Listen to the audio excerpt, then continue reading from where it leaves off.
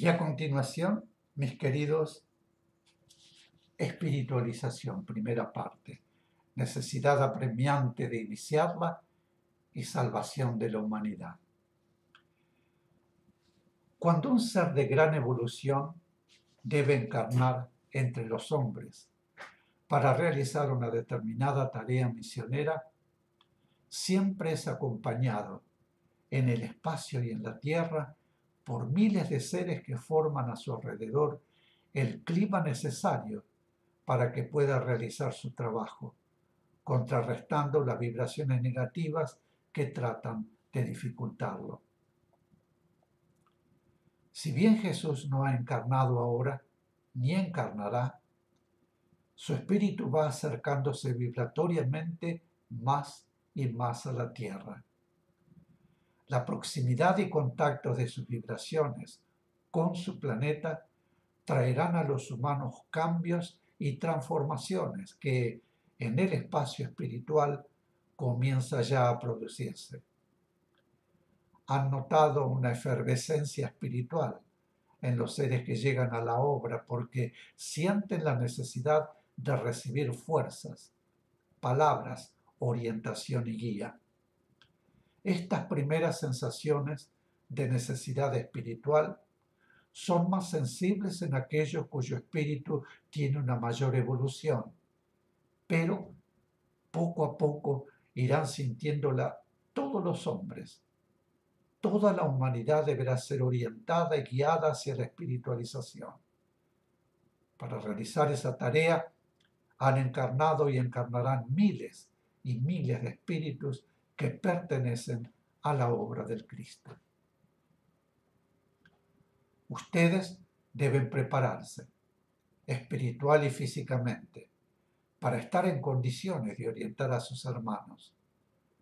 Porque si bien hay muchísimos seres preparados intelectualmente para comprender e interpretar la doctrina espiritualista a través de la palabra, hay también millones de seres que solamente podrán comprenderla a través de los hechos y para poder realizar los hechos es menester preparar también la materia a fin de que sea instrumento dócil y eficiente de la tarea del espíritu.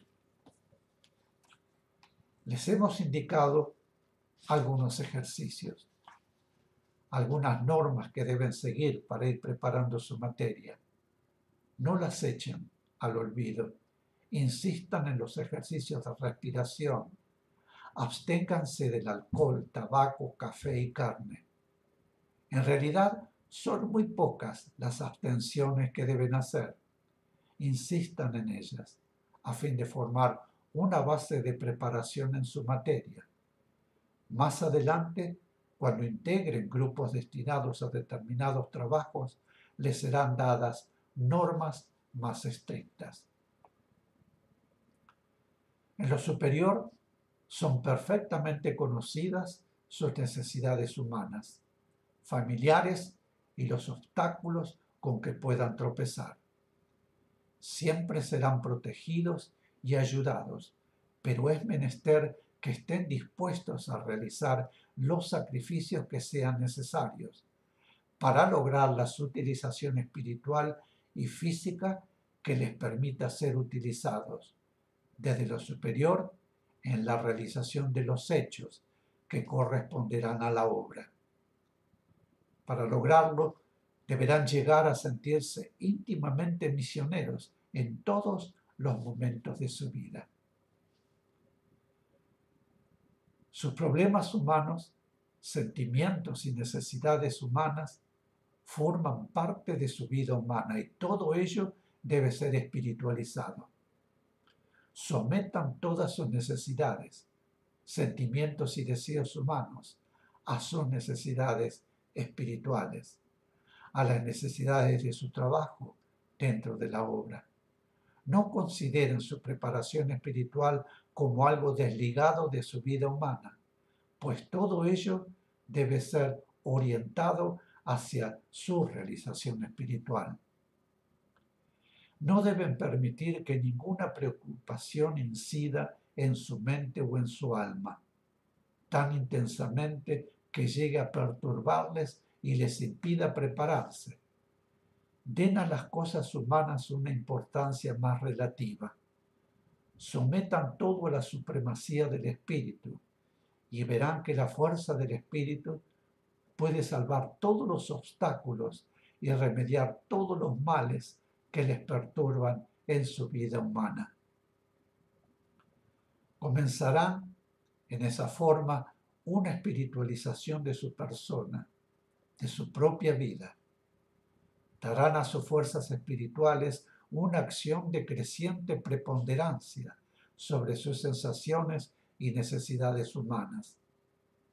Verán así cómo su fuerza espiritual irá modificando y equilibrando sus necesidades y sentimientos humanos.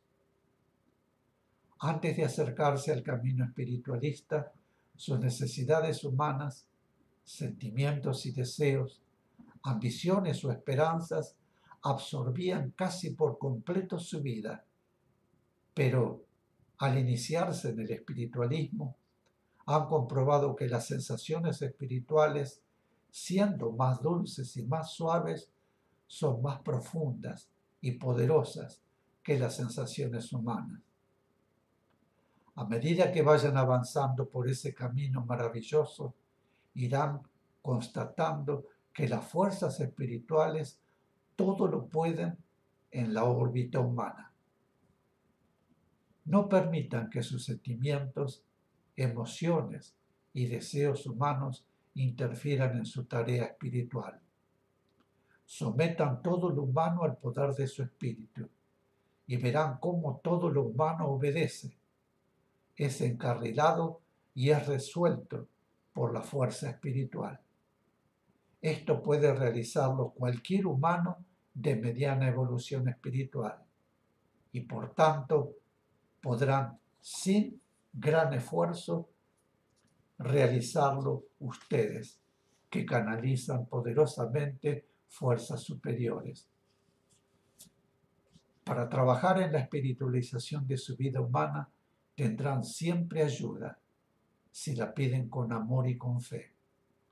El logro de la espiritualización de su vida humana le facultará luego para poder ayudar en tal sentido a sus hermanos y mediante su fuerza espiritual podrán encaminar la vida humana de sus hermanos, enseñándoles a utilizar su propia fuerza espiritual y a espiritualizar su propia vida.